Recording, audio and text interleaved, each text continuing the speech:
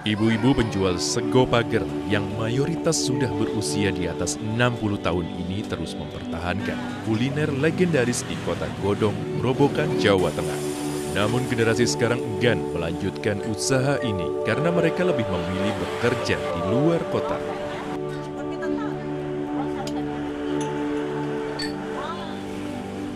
Penjual sego pager membuka lapaknya dari jam setengah enam pagi hingga dagangan habis.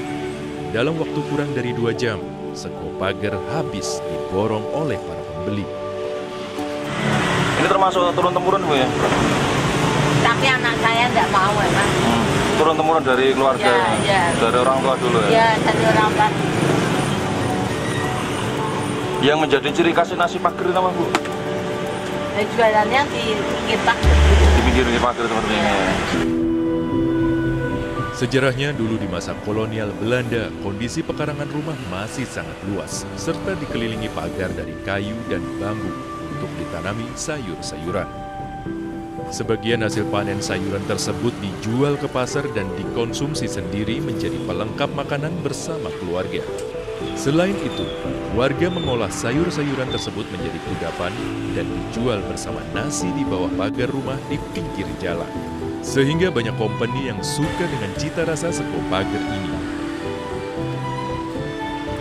Sego pager memiliki ciri khas yakni bumbu garam goreng. Garam krosok yang dicampur dengan parutan kelapa, bawang merah dan putih, daun jeruk digoreng tanpa menggunakan minyak goreng untuk menciptakan rasa asin dan gurih.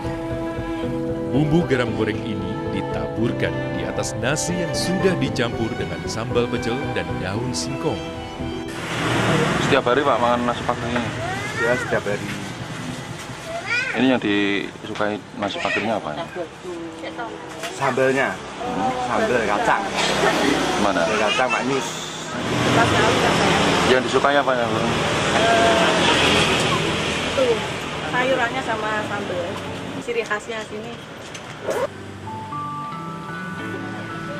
Harganya pun sangat murah, Rp3.000 untuk perbungkusnya dan Rp5.000 lengkap dengan lauk dan teh hangat.